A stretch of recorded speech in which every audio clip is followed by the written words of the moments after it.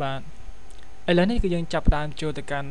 កម្មវិធី Vega ទាំងអស់គ្នាដោយយើងដាក់បែរ click ទៅលើ icon មួយនេះដែលមានដាក់ពាក្យថា Vegas 4.0គឺយើងដាក់បែរ click ទៅលើវា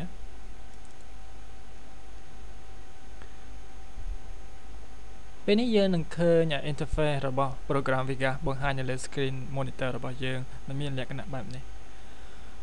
ប៉ុន្តែការដែលសំខាន់បំផុតពេលដំបូងដើម្បីឲ្យយើងអាចធ្វើការងារបាននៅលើ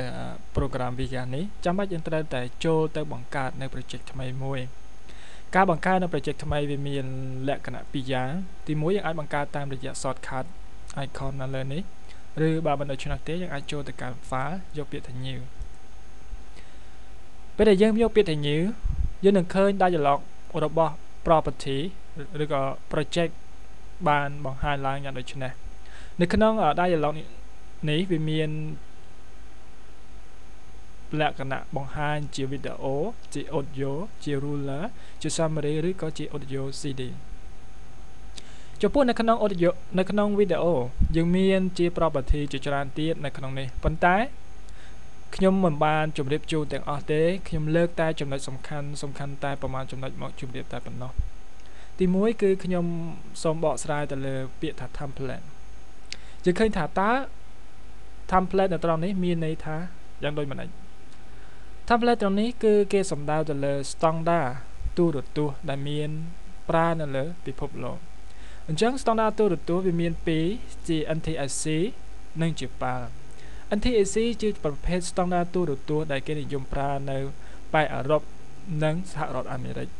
ចំណែកប្រភេទប៉ាល់គឺជាប្រភេទស្តង់ដារទូរទស្សន៍ដែលគេនិយមប្រើនៅប៉ែកអាស៊ីដូចជាប្រទេសជប៉ុនប្រទេសកម្ពុជាយើងប្រទេសថៃឬក៏ប្រទេសវៀតណាមហើយចំណែកនៅក្នុងស្តង់ដារប៉ាល់នេះវាមានបែងចែកចេញជាប្រភេទច្រើនទៀតដូចជាប៉ាល់ DV ប៉ាល់ DV wide screen ប៉ាល់ standard ប៉ាល់ square pixel និងប៉ាល់ video CD ចំពោះប៉ាល់ទាំងនេះខ្ញុំសូមលើកយកតែប៉ាល់ពីរប្រភេទទេមកបង្ហាញទី1គឺ video CD និងប៉ាល់ DV សួរថាតើប៉ាល់ពីរប្រភេទនេះខុសគ្នាយ៉ាងដូចម្តេចប៉ាល់ DV គឺជាប្រភេទប៉ាល់មួយនៅពេលដែលយើងជ្រើសរើសយក project ដែលមានប្រភេទប៉ាល់ DV នៅពេលដែលយើង render យើងទទួលបាននៅ file មួយប្រភេទដែលមាន extension ជា API ហើយគុណភាពវាល្អទៅជាងប៉ាល់ video CD ចំណែកឯចំណុចទៀតសោតក៏មានទំហំធំជាង ប៉ាល់ប្រភេទ video CD ដែរចំណែកឯប៉ាល់ video CD គឺជាប្រភេទប៉ាល់ដែល render ទៅយើងនឹងទទួលបាន file មួយដែលជាប្រភេទ impact ជាប្រភេទ file សម្រាប់ធ្វើជា VCD តែម្ដងបាទគឺប៉ាល់នេះគឺភាគច្រើនគេនិយមប្រើសម្រាប់អឺ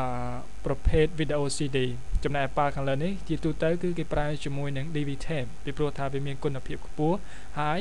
ទាមទារនៅទំហំធំ បាទពេលនេះគឺខ្ញុំរើសយកប៉ាល់ DV ចំណែកឯនៅខាងក្រោមនេះគឺជាទំហំទទឹងនិងកម្ពស់បណ្ដោយនៅកម្ពស់របស់ screen យើងអាចឃើញផងដែរនៅលើចំណុចនេះបាទនេះគឺ720 576នេះគឺជាស្តង់ដារទូរទស្សន៍ប្រភេទប៉ាល់នៅស្រុកខ្មែរຂະຫນាតរបស់វាគិតជា pixel ចំណែកឯ frame rate frame rate គឺមានន័យថាដូចម្ដេច frame rate នេះគឺសំដៅទៅលើចំនួន picture ដែល វានឹងរត់ក្នុង1សេកុងបានន័យថាក្នុង1នាទីវាត្រូវមានចំនួនរូបភាព25រូបដែលត្រូវរត់ហើយចំណែកខាងក្រោមនេះគឺជាអឺភាពលម្អិតឬក៏គុណភាពនៃវីដេអូរបស់យើងនៅពេលដែលយើង render ក្នុងនេះយើងអាចជ្រើសរើសជា gold ឬក៏ best អាស្រ័យទៅលើថាតើយើងចង់បានប្រភេទណាប៉ុន្តែពេលនេះខ្ញុំសូមរើសតែ gold ទេពីព្រោះវាមិនទាមទារនៅ memory ខ្ពស់ក្នុងការ run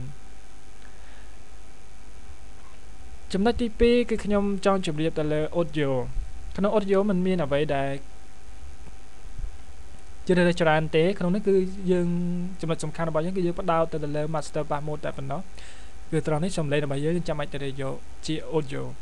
ហើយចំពោះ option ខាងក្រោមនេះយើងអាចទុកជា default យ៉ាងដូចនេះក៏បានឬក៏យើងចង់បដូរក៏បានដែរតែអាស្រ័យទៅលើទំហំនៃ sound card របស់យើងដែលយើងអាចទទួលបានចំពោះ ruler នេះគឺវាមិនសំខាន់ទេអានេះគឺជា default របស់អឺរបស់ frame ដែលយើងត្រូវ set តែម្ដងប៉ុន្តែពេលនេះអ្វីដែលយើងគួរជ្រើសរើសនោះគឺយើងយក MPTE EBU 25 frame សម្រាប់វីដេអូពីព្រោះថាយើងយកជាស្តង់ដាររបស់អឺប៉ាបាទអានេះគឺជាការ start frame របស់យើង បាទมันមានអ្វីដែលគួរឲ្យនេះទេ summary នេះគឺយើងអាចសរសេរបាទគឺយើងសរសេរជាលក្ខណៈ សម្គាល់សម្រាប់ project របស់យើងថាតើវាមានចំណងជើងអ្វីអ្នកណាជាអ្នកធ្វើ copyright និងរៀបរាប់អំពីការងារផ្សេងៗដែលទាក់ទងនឹង project របស់យើង audio CD audio CD នេះគឺជាធម្មតាវាមាននៅពេលដែលយើងចាប់ផ្ដើម extract ពី CD audio មកប៉ុន្តែពេលនេះយើងមិនបាច់ចាប់អារម្មណ៍វាទេពីព្រោះថាយើងអាចធ្វើវាបាននៅពេលក្រោយដូច្នេះយើងអាច OK មក បាទយើងនឹងទទួលបាន project មួយទៅតាមអ្វីដែលយើងបាន set amendment នេះអញ្ចឹងយើងអាចធ្វើការវាបានហើយដោយយើងគ្រាន់តែនាំ clip ឬក៏រូបភាពដែលជាប្រភេទ graphic ឬក៏ជា text មកដាក់គឺយើងអាចប្រើបានហើយ